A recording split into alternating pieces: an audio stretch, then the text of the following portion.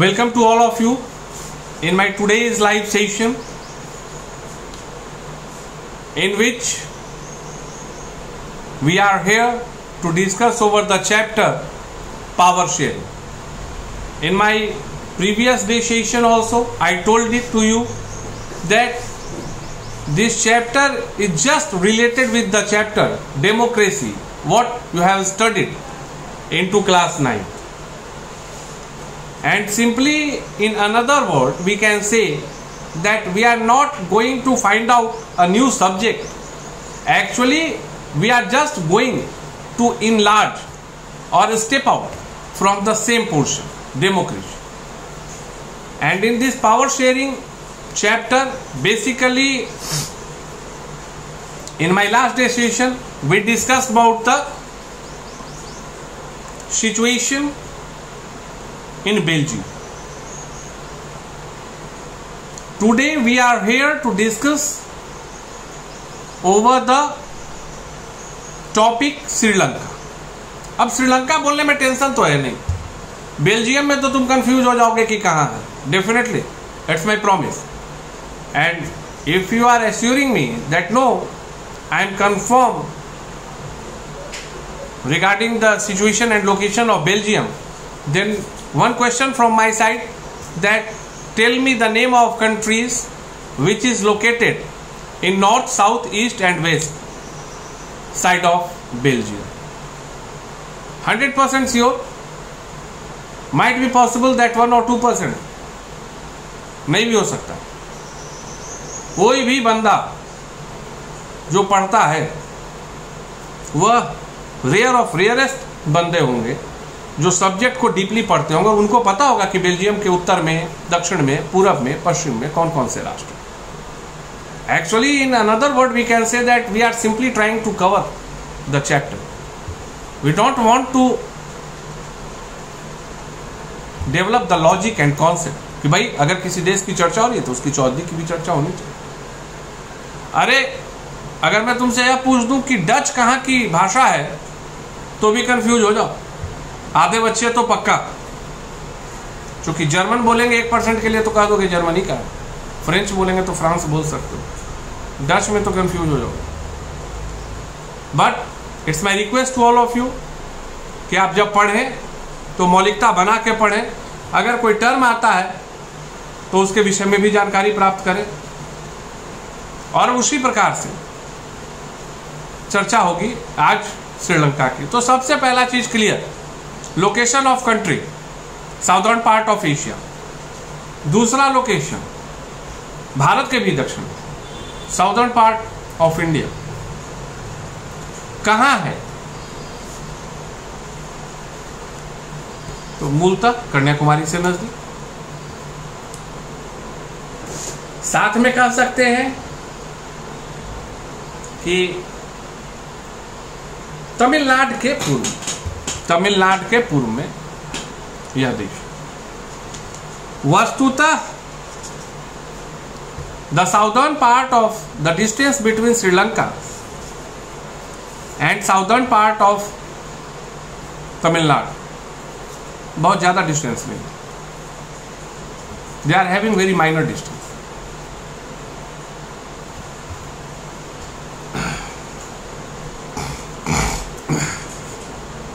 and the population of Sri Lanka is 2 crores. In this chapter, we discussed that the population of Haryana is 2 crore. It means,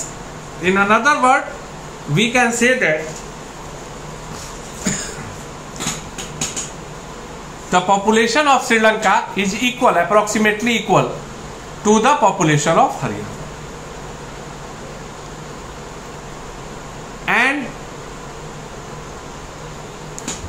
as feature common feature which is present in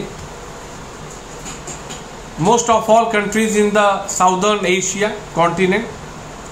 that different communities the people of different communities are living together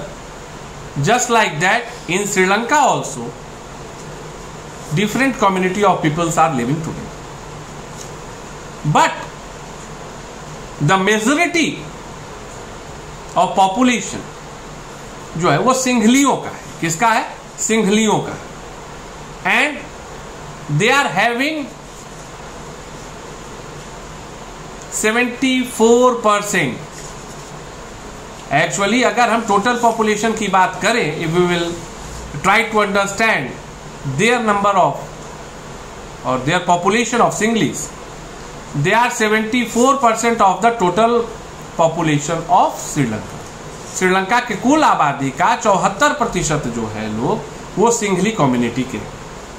और उसके बाद दूसरे number पे आते हैं Tamil they are having eighteen percent they are having eighteen percent चौहत्तर percent सिंघलियों का अट्ठारह प्रतिशत तमिलों का तमिलनाडु के बगल में अब इसमें एक चीज तुमको याद रखना है कि इस 18 परसेंट तमिल में भी इस 18 परसेंट तमिल में भी there are two sub type one जो श्रीलंका के मूल तमिलियन है जिनका ओरिजिन श्रीलंका रहा they are of thirteen percent they are of thirteen percent तेरह परसेंट लोग वहां के और पांच प्रतिशत तमिल वह है जो अंग्रेजी शासन पद्धति के समय जो अंग्रेजी शासन पद्धति के समय कहा गए थे श्रीलंका भेजे गए थे जिनको चाय की खेती छोटे छोटे काम करने के लिए भारत से उठाकर श्रीलंका ले जाए याद है मतलब 75 परसेंट सिंघली है 13 परसेंट श्रीलंकाई तमिल है 5 परसेंट पांच परसेंट कौन है इंडियन तमिल और उसके बाद जो लोग और हैं हिंदू मुस्लिम ईसाई सभी धर्म के लोग हैं actually actually if you will see the map of Sri Lanka, then you will find or then you will feel that currently Tamils are only living in the northern part of Sri Lanka and eastern part of Sri मैंने तीसरी महत्वपूर्ण चीज चौहत्तर प्रतिशत singly तेरह प्रतिशत श्रीलंकाई Sindhi Tamil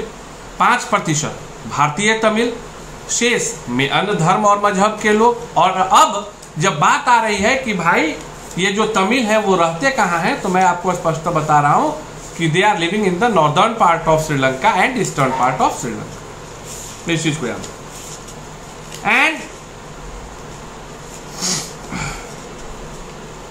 most of all Sinhalese